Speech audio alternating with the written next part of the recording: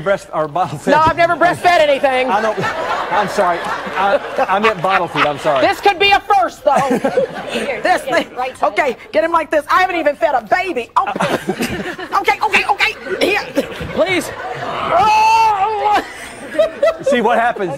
They, they, what happens is they love this milk so much. They're, they're going off the bottle right now. These are, these are, by the way, folks. These are Amur leopards, one of the rarest cats in the world. I was, Rolonda, Rolonda, a while ago, was looking at these backstage, but these are animals. There are only hundred left in the world. Only 100 100? 100 left in the world, and these are from Russia, North Korea, and right now with what's happening in that part of the world, we have no idea if there's any left in the wild. Really? But it's called the Amur leopard. They were hunted almost to extinction for their coats, and of course now loss of habitat. But this animal grows to about 80 pounds, and they're nocturnal, mainly hunt at night, mm-hmm. and they live in the trees about 80% of the time.